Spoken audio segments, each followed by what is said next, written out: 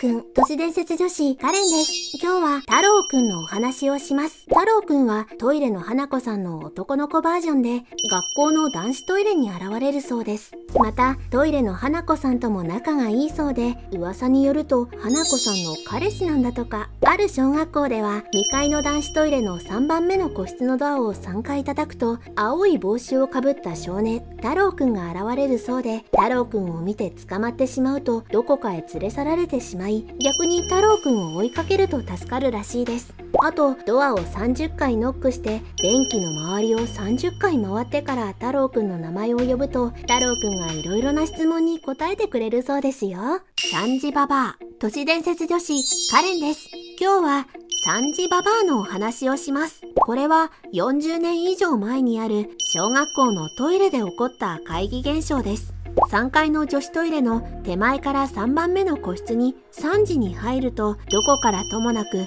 老婆の声が聞こえてきます。怖くなって出ようとするとドアは開かなくなっているそうです。これは3時ババアの仕業なのです。渡り廊下にできた雨漏りのシミが3時ババアの正体だと言われています。そのシミは血の匂いがして老婆の形をしていました一度そのシミをペンキで塗りつぶしたところサンジババアは3階のトイレにいられなくなり1階のトイレに現れるようになりました。誰もいないトイレから甲高い笑い声が響くようになったそうです。3本足のリカちゃん。都市伝説女子カレンです。今日は3本足のリカちゃんのお話をします。とある女性がトイレでリカちゃん人形を見つけました。その人形には2本の足以外に黄土色をした人肉のような3本目の足がありました。びっくりした女性が人形を床に落とすと、私リカちゃん呪われているのと繰り返し喋り始めました。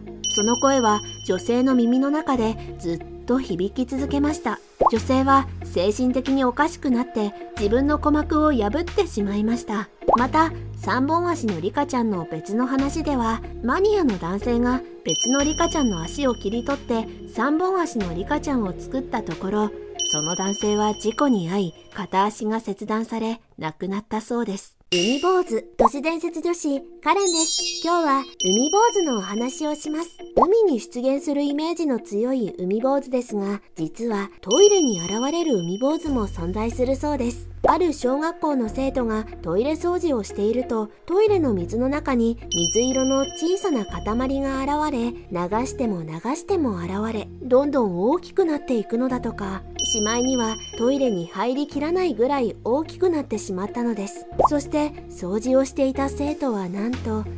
そのままいなくなってしまったのだそうです。トイレの花子さん。都市伝説女子カレンです。今日はトイレの花子さんのお話をします。花子さんは赤いスカートにおかっぱ頭の女の子で学校のトイレに現れます。奥から3番目の個室のドアを3回叩いて、花子さん遊びましょうと声をかけると、は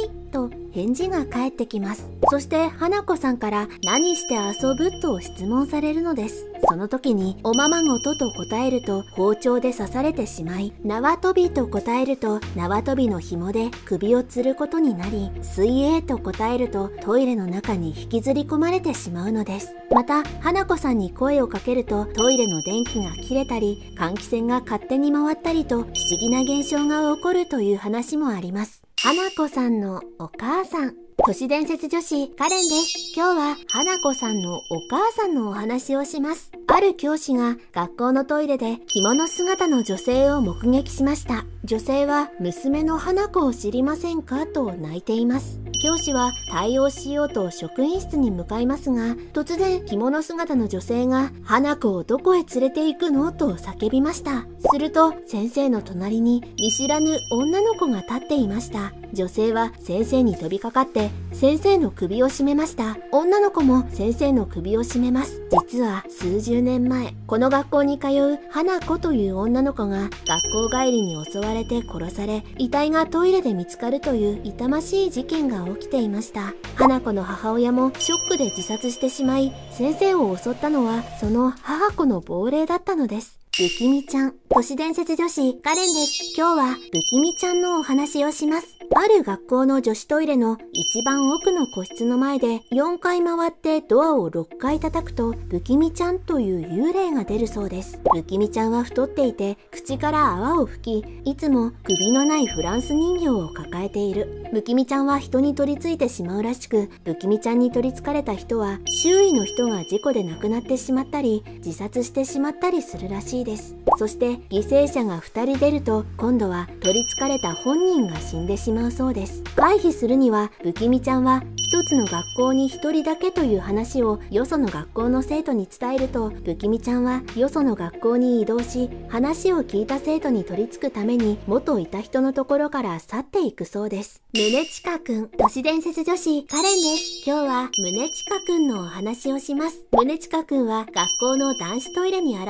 れる妖怪です。個室から手を出して弱々しい声で薬局でドリンク剤を買ってきてと頼んできます。薬局から買ってきたドリンク剤を手渡すと宗近くんはそれを受け取って飲みます。するとさっきの弱々しい声とは裏腹に元気いっぱいの声で規制を発しながら暴れるのです。また頼まれたものと違うドリンク剤を買ってくると怒り狂ってしまうそうです。つぼ姫様、都市伝説女子カレンです。今日はつぼ姫様のお話をします。和歌山県のとある小学校はお城の跡地に建てられていました。戦国時代、その城ではお姫様が殺され、壺に入れられて埋められてしまいました。その壺姫様が埋められた場所は、ちょうど小学校のトイレのある個室に位置する場所でした。そしてその個室に入ってしまうと呪われてしまうそうです女子トイレの手前から4番目の個室に入入るとトイレの中に引きずり込まれてしまうなんて噂もあるみたいですよゾンビ看護師都市伝説女子カレンです今日はゾンビ看護師のお話をしますある少年が忘れ物を取りに夜中に学校に忍び込むと、